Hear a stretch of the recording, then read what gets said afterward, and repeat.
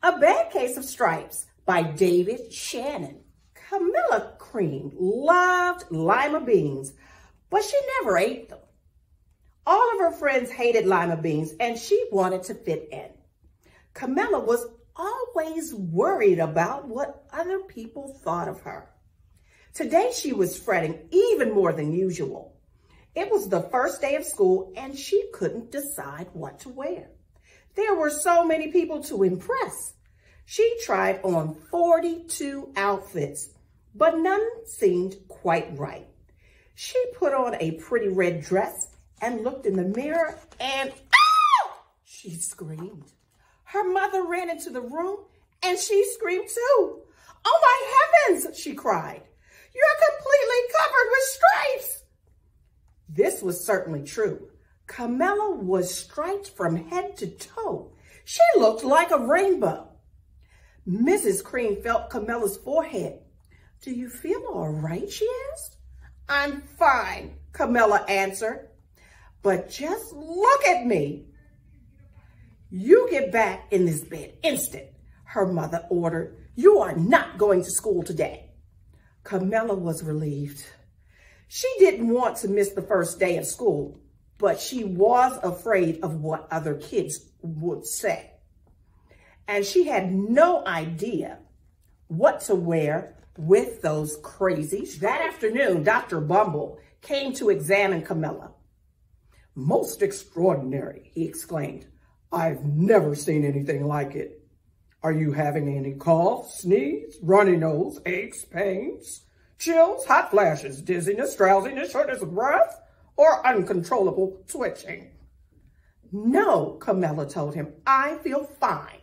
Well then, Dr. Bumble said, turning to Miss Cream, I, I don't. I don't see any reason why she shouldn't go to school tomorrow.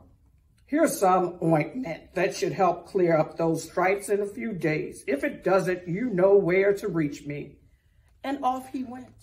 The next day, Camilla, the next day was a disaster. Everyone at school laughed at Camilla. They called her Camilla Crayon and Night of the Living Lollipop. She tried her best to act as if everything were normal, but when the class said the Pledge of Allegiance, her stripes turned red, white, and blue, and she broke out into stars. The other kids thought this was great and yelled out, let's see some purple polka dots. Sure enough, Camilla turned all purple polka dotty. Someone shouted, checkerboard. A pattern of squares covered her skin. Soon everyone was calling out a different shape and colors and poor Camilla was changing faster than you could change channels on a that night. Mr. Harms, the school principal, called. I'm sorry, Miss Cream, he said. I'm going to have to ask you to keep Camilla home from school. She's just too much of a distraction. And I've been getting calls all day from other parents. They're afraid those stripes may be contagious. Camilla was so embarrassed. She couldn't believe two days ago everyone liked her. Now nobody wanted to be in the same room with her. Her father tried to make her feel better. Is there anything I can do? Can get you, sweetheart? He asked. No, thank you, sighed Camilla. What she really wanted was a nice plate of lima beans. But she'd been laughed at enough for one day. Hmm, well, I see, Dr. Bumble mumbled when Mrs. Cream phoned the next day. I think I'd better bring in specialists. We'll be right over.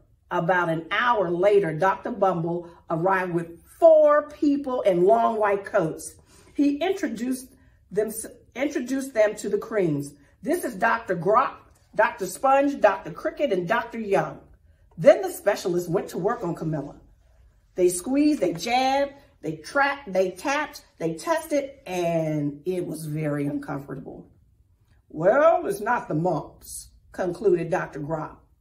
Or the measles, said Dr. Sponge. Definitely not the chicken pox, put in Dr. Cricket. Or sunburn, said Dr. Young. Try, try these, said the specialist. They each handed her a bottle filled with different colored pills. Take one of each before bed, said Dr. Grop. Then they filed out the door, followed by Dr. Bump. That night, Camilla took her medicine. It was awful. When she woke up the next morning, she did feel a little different.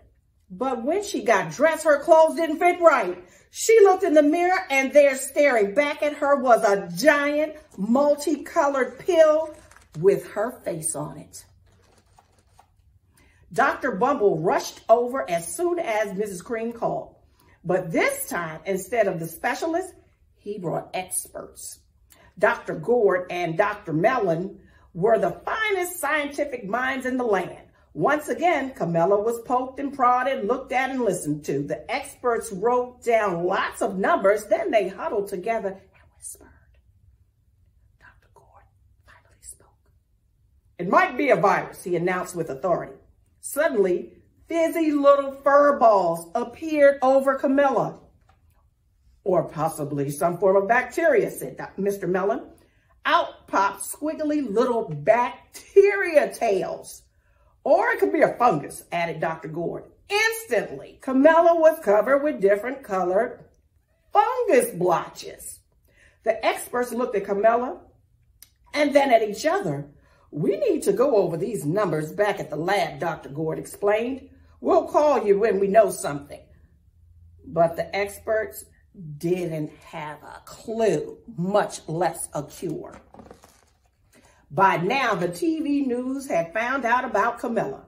Reporters from every channel were outside her house telling the story of the bizarre case of the incredible changing kid. Soon, a huge crowd was camped out in front of their lawn. The creams were swamped with all kinds of remedies from psychologists, allergists, herbalists, nutritionists, psychologists, an old medicine man, a guru, and even a veterinarian.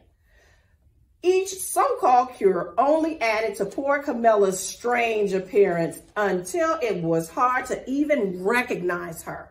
She sprouted roots and berries and crystals and feathers and a long furry tail.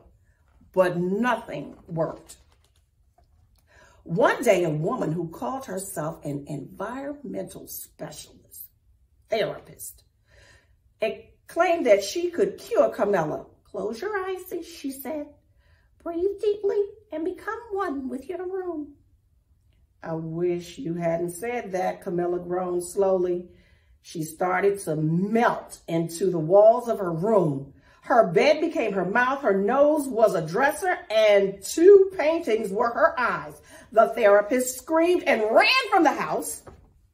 What are we going to do? cried Mrs. Cream. It just keeps getting worse and worse. She began to sob at that moment. Mr. Cream heard a little quiet knock at the front door. he opened it, and there stood an old woman who was just as plump and sweet as a strawberry. Excuse me, she said brightly, but I think I can help. She went into Camilla's room and looked around. My goodness, she said with a shake of her head. What we have here is a bad case of stripes.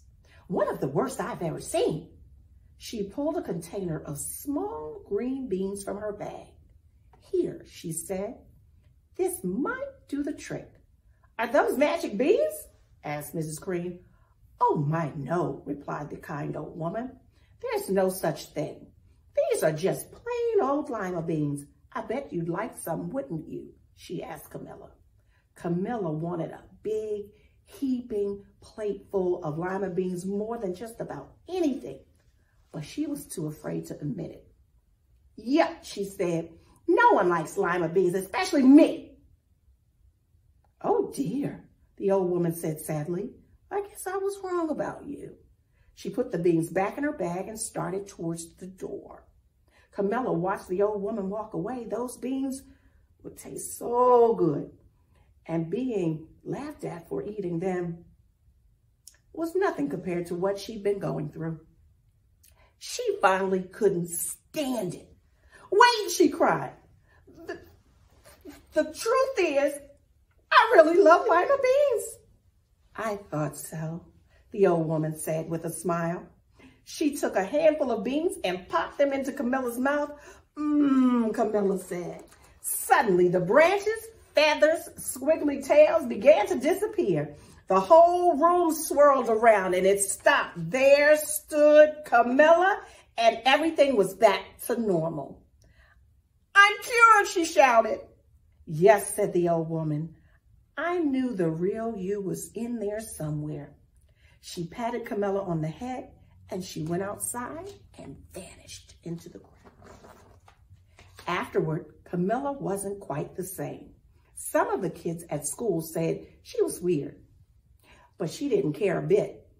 She ate all the lima beans she wanted and she never even, and she never had even a touch of the stripes again.